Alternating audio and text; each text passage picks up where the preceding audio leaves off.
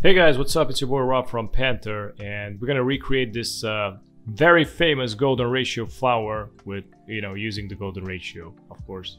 Uh, I just saw this on Pinterest somewhere. Basically, this was what I saw, you know, and uh, I was like pushing further to see what else can we do out of this form and shape because, you know, this is a golden ratio grid kind of thing with the golden ratio spiral and whatever.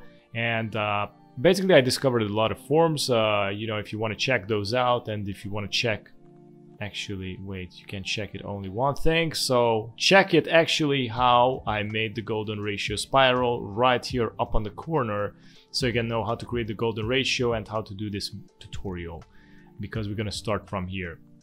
But before we do that if you're new on the channel also don't forget to subscribe and hit the notification bell so you get notified new daily updates so let's take this golden ratio and uh, place it here I'm gonna scale it down a little more and uh, press and hold Alt, create a new copy, press and hold Shift, rotate this, and from here, let me see it's grouped.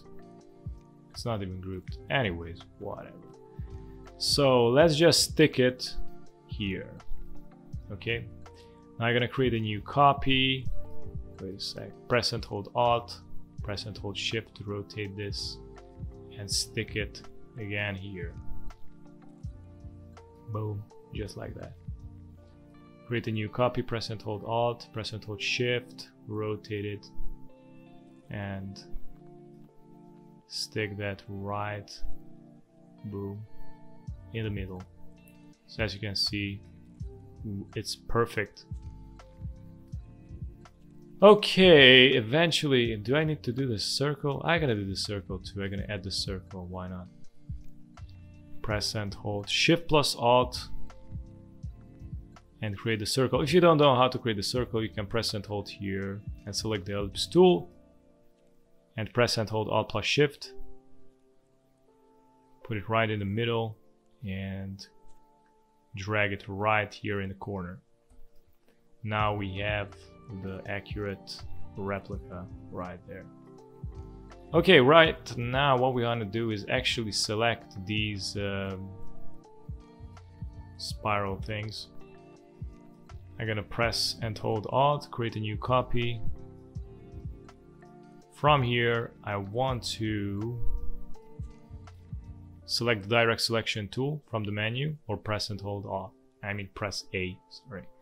I'm gonna select these uh, and delete these. like that. Select them all, right click, group.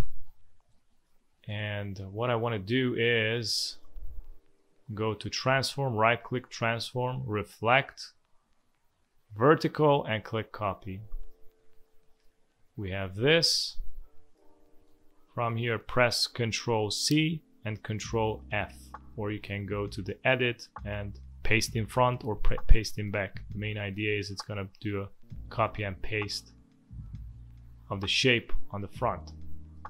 We're gonna press and hold shift and rotate it once.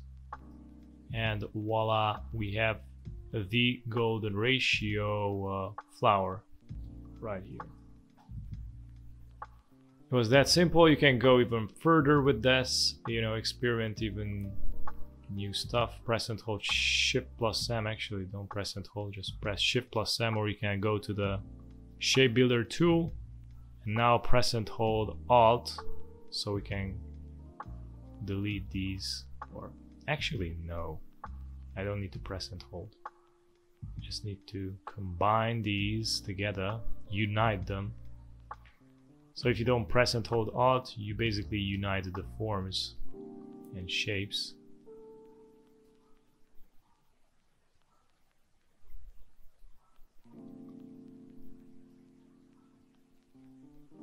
And now we have a golden ratio vortex right here. What is it? Anyways. So yeah, this is how you do it. Um, hope it was I hope it was helpful and you find out new stuff related to golden ratio. And yeah, uh, if you want to, uh, you know, check some more tutorials related to golden ratio, you can click on the right.